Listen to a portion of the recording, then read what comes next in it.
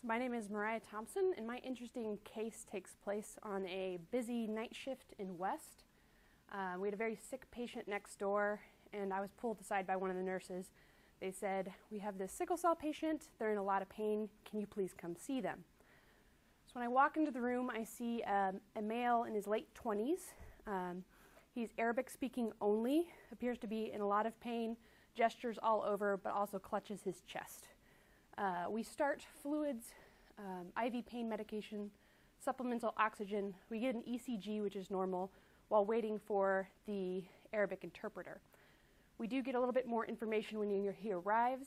Um, this gentleman was here visiting from Saudi Arabia with his father, who was receiving treatment here at Mayo. Um, he was staying in a hotel locally, took a, a hot shower, and when he stepped out into the cold hallway, had an acute onset of diffuse pain in his arms, legs, worse in his chest, radiating to his back. He had an episode of nausea with uh, one episode of emesis associated with the pain, but otherwise, review of systems was negative. He denied any fever, chills, respiratory symptoms, no recent illness. He had been doing well up until this time. His sickle cell history, um, he indicated that he still had his spleen, his vaccinations were up to date, he would have pain episodes um, approximately every two to three months, but his last episode was eight months ago. Um, he had never had any more severe complications such as stroke or acute chest syndrome. We had no records available on this gentleman since he was from Saudi Arabia. His um, vital signs on arrival were within normal limits, although he was borderline tachycardic. Um, but he was afebrile with a normal respiratory rate. And on exam, he was obviously in a lot of pain, but his exam was otherwise within normal limits. Um, chest was clear, absolutely normal neurologic exam. So at this point, the differential was broad. Uh, was this uh, a severe pain episode? Was this a more severe complication like acute chest syndrome? Was this a pulmonary embolism? Um, was this um, um, something cardiac? Was it uh, pneumonia? Although that would be unusual given his lack of respiratory symptoms. However, time would tell with this individual, um, as on reassessment, he spiked a fever uh, of 38.2. He was mildly tachycardic, tachypneic, um, but most importantly, when we took him off the nasal cannula, his saturations dropped to 76% on room air. Um, we did obtain, obtain a chest x ray, which showed diffuse infiltrates um, in his bilateral lung fields, uh, as you can see here. So, in this individual who is rapidly decompensating in front of us, um, who had spiked to fever and now had low oxygen saturations, with this x ray, our concern was growing for the development of acute chest syndrome. The remainder of his workup revealed a hemoglobin of 8.1. He had an elevated white count as well as elevated reticulocytes. Um, however, the remainder of his workup was within normal limits.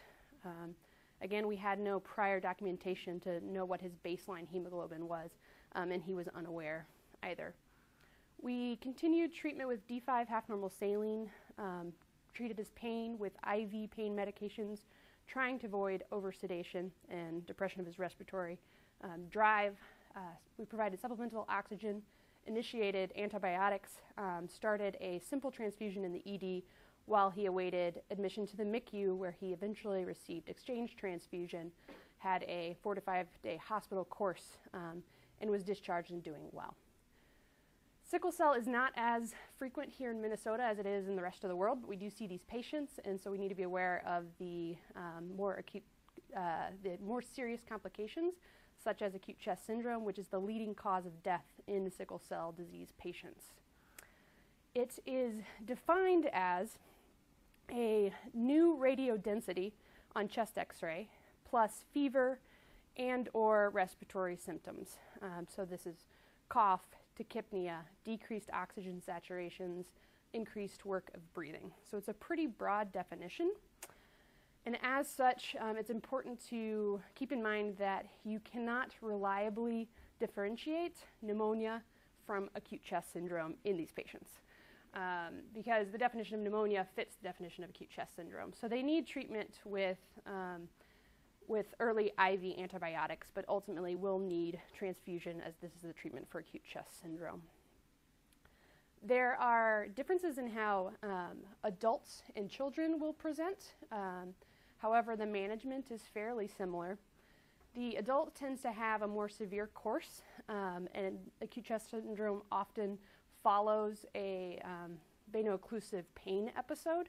Uh, they have a higher risk of mortality, so you have to have higher suspicion and a lower threshold for initiating transfusion in this patient population. Um, the causes aren't fully understood. It's thought to, due to be due to uh, occlusion of microvasculature within the lungs. It can be related to infection, um, lipid uh, and bone marrow emboli, hypoventilation, asthma, and in situ pulmonary thrombi. Um, of the infectious causes, the most common culprits um, are your atypicals, mycoplasma, uh, chlamydia pneumonia, as well as Haemophilus influenza, strep pneumo. So antibiotic coverage is similar to that for community-acquired pneumonia with coverage for atypicals.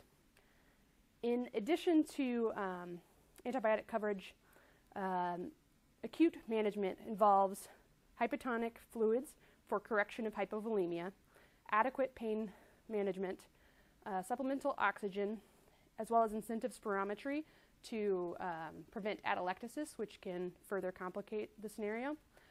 But ultimately, these patients will need transfusion.